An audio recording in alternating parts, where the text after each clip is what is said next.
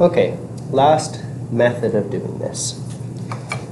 Again, because we have uh, known space that's been given to us, we have a hundred mil tall by one hundred and sixteen mil wide space given to us. This drawing is actually very easy. If you just give yourself construction lines, which I will draw again darker so you can see them clearly.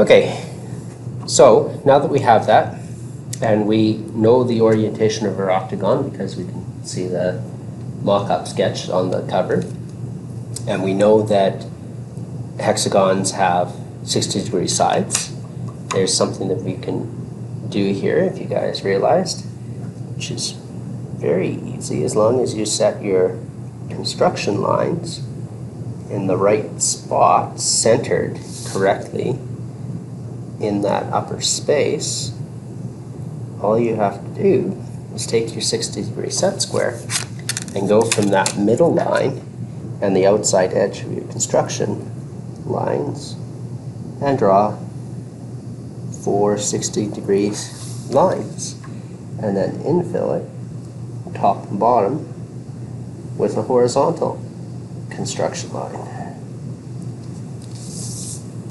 Or object line I should say.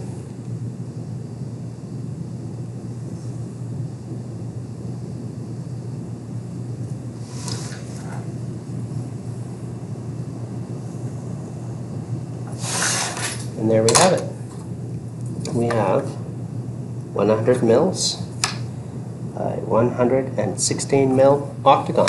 And that's probably the very easiest way but I wanted to show you those